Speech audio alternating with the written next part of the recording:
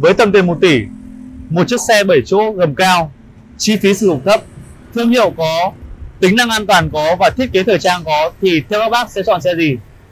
Và clip lần này là em sẽ để trả lời cho câu hỏi đấy. À, khi bỏ tiền ra 1 tỷ các bác muốn chọn một chiếc xe 7 chỗ gầm cao phục vụ cho gia đình nhưng mà bên cạnh đấy các bác vẫn muốn một chiếc xe có chi phí sử dụng thấp. À, và ngày hôm nay thì clip lần này em sẽ làm uh, giới thiệu cho các bác hai con xe với tài chính khoảng 1 tỷ đáp ứng đủ tất cả các tiêu chí trên các bác nhá. Xin chào các bác. Chào mừng các bác quay trở lại với kênh mua bán xe cũ. Xin được giới thiệu em là đạt, phụ trách bán hàng tại showroom từ quý ô tô địa chỉ với em tại số 95A đường Trần Thái Tông, cầu giấy, Hà Nội. Và ngày hôm nay, em sẽ mang đến cho các bác hai siêu phẩm mới về của nhà em. Đó chính là một chiếc Toyota Fortuner bản 2.4 máy dầu một cầu số tự động. Sản xuất năm 2020 và đây là thế hệ mới nhất của Toyota Fortuner tại thị trường xe Việt Nam tính đến thời điểm hiện nay các bác nhé và bên cạnh nó là một chiếc Hyundai Santa Fe. Bản này cũng là bản máy dầu và đây là bản dầu cao cấp nhất được trang bị động cơ là 2.2 lít. À, giữa hai mẫu xe này thì một mẫu là thương hiệu quá lâu năm của Nhật Bản đó chính là Toyota đúng không ạ? Còn một mẫu thì lại là một mẫu xe đến từ Hàn Quốc một uh, cái đất nước mà rất thiên về cái vấn đề tính năng option tiện nghi. Thì trong hai mẫu xe này với cùng tầm tiền đấy thì con nào hay hơn? Giới thiệu các con uh, Toyota Fortuner này trước các bác nhá.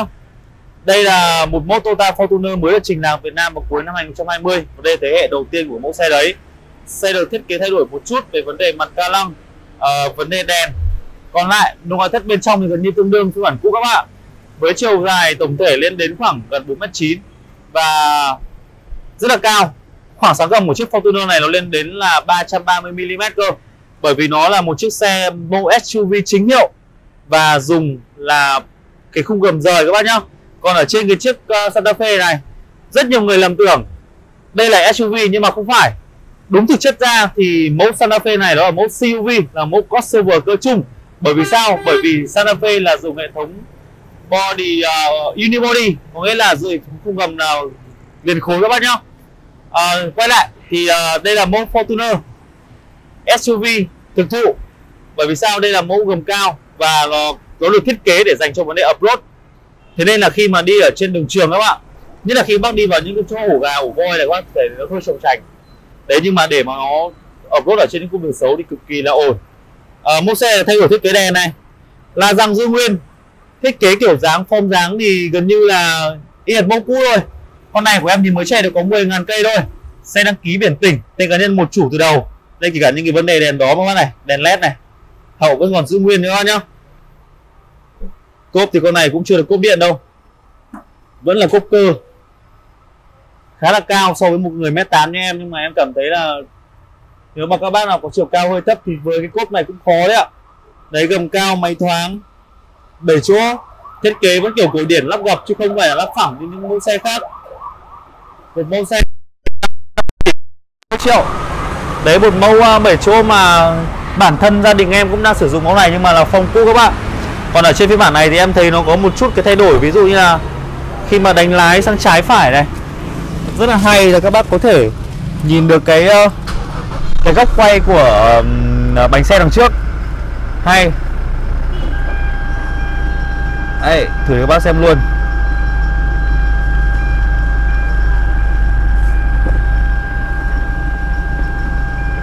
Đấy, các bác nhìn không ạ? Khi mà các bác đánh lái này, Cái lốp bánh xe trước nó sẽ hiển thị trên cái bảng đồng hồ tablo này Đấy.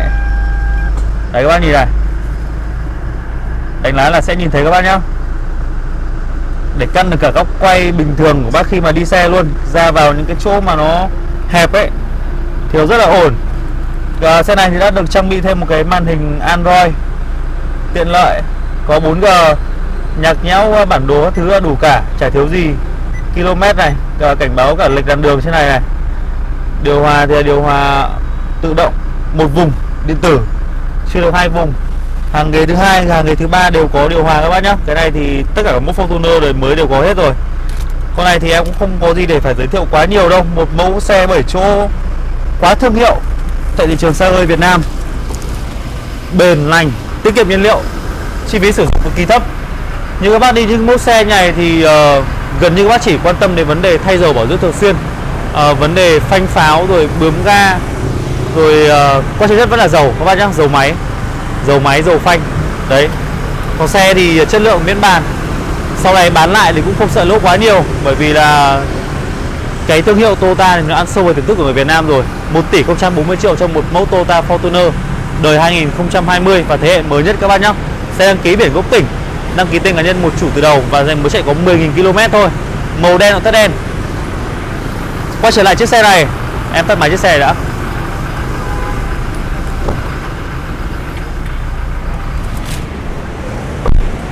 Quay trở lại mẫu crossover cỡ trung Đây là một mẫu xe mà rất nhiều người Việt Nam nhầm. Đây là mẫu SUV các bạn. Không chỉ uh, mẫu này đâu Mà kể cả cái mẫu Sorento bên cạnh này cũng thế các bạn này. Gần như người Việt Nam mình thì chủ yếu cứ gầm cao thì là SUV Nhưng mà S gầm cao chia làm hai loại. Một là SUV, hai là CUV Nó dành cho những ai mà hiểu biết về xe một chút các bạn nhá. Thì CUV là mẫu dùng unibody Nó là body liền khối. Còn SUV nó là body on frame có nghĩa là khung rời à, khung gầm rời khung gầm sắt xi rời để thuận tiện cho cái việc off-road. Cứ kiểu xoắn chéo rồi cái hệ thống treo khác hẳn của các bạn. Con này thì là mẫu Hyundai Santa Fe bản 2.2 dầu cao cấp nhất. Xe sản xuất năm 2019 và chạy được có 28.000 km thôi. Cũng đăng ký biển gốc tỉnh tên cá nhân một chủ từ đầu. Ở trên cái mẫu xe này thì à, được thiết à, trang bị một cái màu vàng cát rất là sáng. Và bên trong thiết à, nội thất thì là thiết kế màu nâu các bác nhá.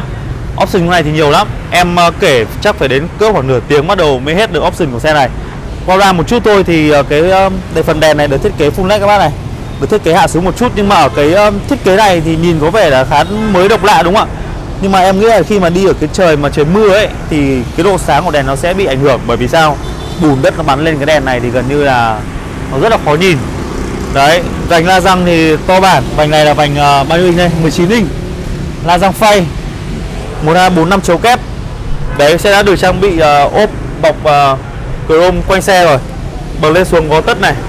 Option dưới này nó hơn hẳn con Fortuner mới hiệu các bác. Con này nó có cốp điện, Có chống kẹt. Và cái hay nữa đó chính là cái ghế thứ ờ, hàng ghế thứ ba của xe này thì lại là gập phẳng. Khi mà các bác muốn chở một cái đồ gì to ấy thì các bác chỉ cần gập phẳng hai hàng ghế xuống, ví dụ như bồ gốp chẳng hạn. Đấy là các bác có thể để được khoảng hai ba bộ gốp trên ờ, cái khoang hành lý của xe này. Rất là hay các bác nhá. Thường thì các xe 7 chỗ thì nó làm cái ờ, trên này chỉ là cái chỗ để đồ thôi kích lốp kích lủng thôi. Còn là lốp dự phòng thì thường là đặt ở dưới uh, phần gầm. Đây. Gầm các bác này lốp xe còn nguyên này mới tinh chưa hạ. Đấy cốp điện chống kẹt. Một cái em rất thích trên xe này nó chính là cái option cửa sổ trời toàn cảnh panorama đi vào nhất là lúc trời mưa ấy. À đấy hoặc một cái rất là hay các bác này. Mở cửa xe ra cái là cái ghế này nó sẽ tự động lùi xuống một chút để cho các bác có một khoảng thở được trang bị là nhờ ghế hai vị trí các bác nhá. Đây, các bác à, ví dụ như là một gia đình, hai người đi, vợ chồng chẳng hạn, thì à, một à, chắc là phụ nữ thì hay ngồi gần. Thì tốt nhất là nên chỉnh cái vị trí nhớ ghế này cho tiện lợi. Theo là con Hyundai Santa Fe này được trang bị một cái cửa kính một chạm là cửa kính lái thôi, nên số một chạm các bác nhá. Còn các kính phụ thì chúng ta vẫn phải sử dụng bằng tay bình thường. Option của xe này thì nhiều lắm. Em nổ cái máy lên, các bác sẽ thấy một cái em rất thích, đó chính là cái hắt kính này cái kính này nó chỉ xuất hiện ở trên cái bản à, Hyundai Santa Fe cao cấp nhất thôi. Còn ở trên cái phiên bản à, đặc biệt hay là bản à, tiêu chuẩn thì chúng ta không được trang bị cái này đâu. Đây các bạn nhìn thấy số không nhá. Đấy không km trên giờ đấy ạ. Đó. Cái này cực kỳ tiện lợi khi các bác đi đường dài lái xa thì chúng ta sẽ không cần phải để ý vào cái phần đồng hồ này nữa. À, nói tiếp về mặt đồng hồ thì đồng hồ của Hyundai Santa Fe được chia làm hai phần. Đồng hồ chính hiển thị uh, km và những cái thông số uh, kiểu hộp số kiểu về P, về R hay về N, về D ấy, thì nó là hiển thị là màn hình điện tử LCD còn uh, vòng tua uh, xăng hay là nhiệt độ của máy thì nó vẫn làm uh, bình thường hoặc chính là cơ bản cái kiểu là đồng hồ analog dạng uh, có kim. Đấy nhưng mà vẫn có đèn đó các bác nhé rất là đẹp. Option của xe đây thì có đèn tự động này gạt mưa tự động này. Ga tự động này đương nhiên rồi. Còn lấy chuyển số trên vô lăng nhưng mà em thấy là cái lấy chuyển số trên vô lăng này thì là một cái option rất ít dùng.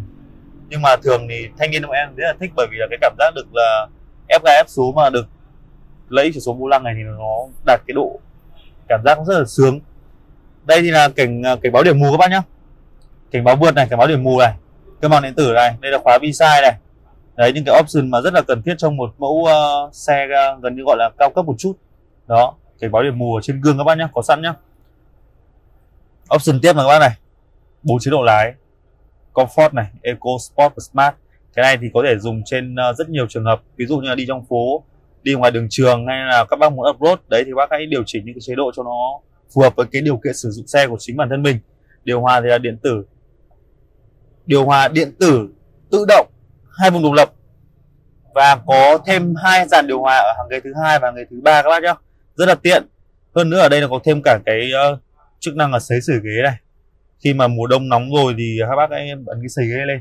Còn mùa hè lạnh thì à, nóng à, mùa đông lạnh em nhầm à, bật cái sấy ghế lên thì nó sẽ làm ấm ghế này đây những cái lỗ này, này đây những cái lưng này đấy làm cho khi mà chúng ta lên xe cảm giác không không bị lạnh lẽo. Sấy ghế sưởi ghế sấy vô lăng. Option đầy đủ rồi. Và có cái cũng à, rất là tiện lợi chống cháy khi mà các bác hết pin. Thì đây là có một cái uh, sạc không dây các bác nhá. Cứ để máy vào đây là có pin.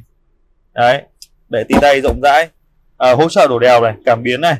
Con này thì nó uh, được lắp thêm một cái màn hình uh, Android rất là tiện các bác có thể uh, nghe nhạc uh, xem uh, video hay là uh, bản đồ nhưng mà khuyến cáo một chút là các bác không nên uh, vừa vừa lái xe mà lại vừa xem clip bởi vì là nó sẽ gây mất tập trung. Cái này nó sẽ gây mất an toàn khi uh, sử dụng lái xe cho chính bản thân và là cho người khác nữa. Đấy thì cái màn hình này chúng ta chỉ nên gọi là để nghe nhạc thôi. Nghe nhạc cho đỡ buồn ngủ khi lái xe thôi. Đây nội thất da cao cấp màu nâu này. Tất cả những cái chi tiết từ gốc gỗ này làm cái xe nó trở nên rất là sang trọng.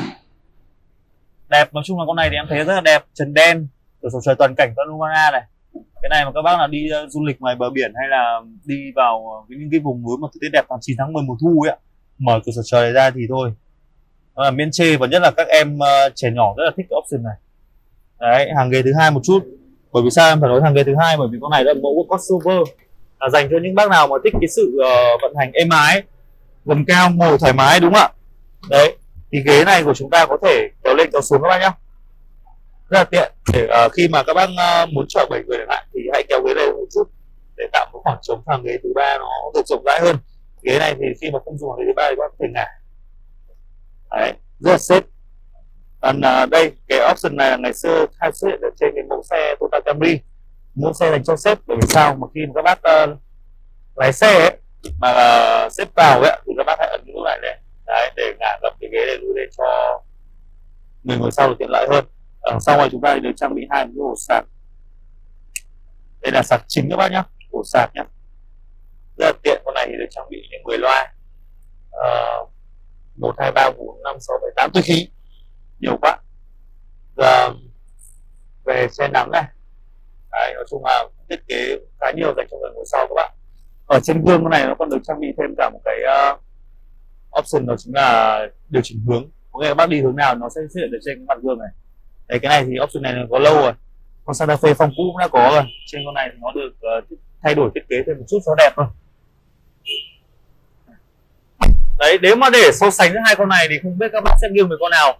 Nhưng mà cá nhân của em nhá là một người thanh niên trẻ. Em ờ, thích những cái điều nó đẹp đẽ rồi uh, thời trang rồi uh, nhiều option thì chắc chắn là bản thân em sẽ chọn những cái mẫu xe như Santa Fe uh, rồi những nhưng mà bác nào lại thích một con xe mà vừa có thể phụ gia đình này đi làm này hay là ờ, không phải để ý nó quá nhiều bởi vì sao? Những con Fortuner này thì nó rất là ít option về tiện nghi. Thế nên là cái chi phí sử dụng hay là vấn đề nó các bác phải để ý quá nhiều đúng không ạ. Cực kỳ rẻ.